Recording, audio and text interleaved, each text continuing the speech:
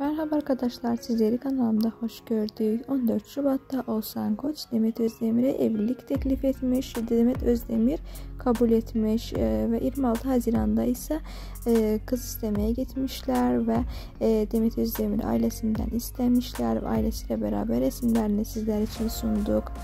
Şimdi ise hazırsak başlıyoruz diye resim üzerine yazmışlar. Oğuzhan Koç ve Demet Özdemir sayfalarında paylaşmışlar ve onlar kendi e, yeni evlerinin projesini e, çizmişler ve e, yepyeni bir e, ev hayaliyle e, sizlerleyiz arkadaşlar.